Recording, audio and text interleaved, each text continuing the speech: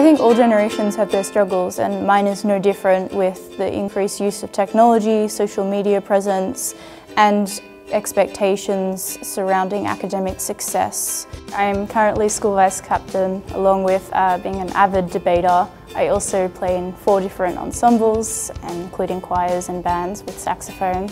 I also do service for op shops and fun runs. I'm always trying to pack as much into my schedule.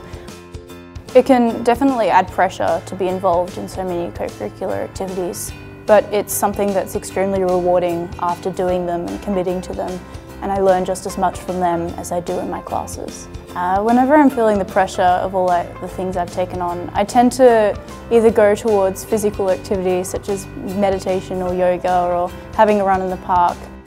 At Ivanhoe Girls there's a range of pastoral care facilities. Every day we have our tute group which we can just check in with one of our teachers and in my centre there's always the level coordinator who's always around to have a chat with and of course there's friends everywhere.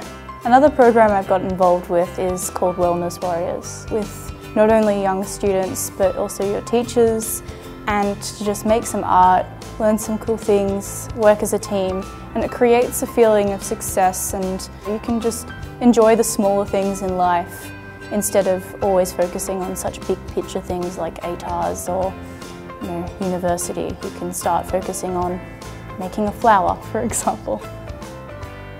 I would love a career in politics and this program has really helped me gain skills in communicating and being confident with other people, which I really wouldn't have expected. My name's Olivia, I'm in year 12 and I speak for myself.